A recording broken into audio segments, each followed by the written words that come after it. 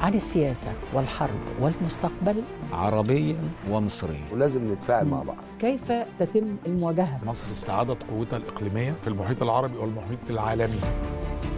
مفيش قاطرة للتقدم في أي بلد في العالم غير الثقافة. النهارده إحنا عندنا الفرصة دي. اتجاه قومي كبير جدا للفنون والثقافة. هل هناك من يعاني من الفقر المدقع في أوروبا. آه في الولايات المتحدة نعم. في أغنى دول العالم نعم. في تعاون ما بين قوى الشر. لماذا هذا التمييز في المعاملة؟ لبناء العقل والوعي والوجدان. الأديان تتوافق ولكن لا تتطابق. صوتا لمن لا صوت لهم.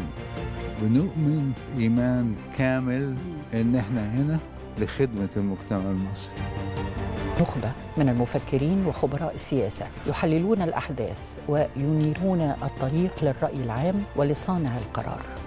حديث العرب من مصر الخميس السابعة مساء على قناة مصر الأولى.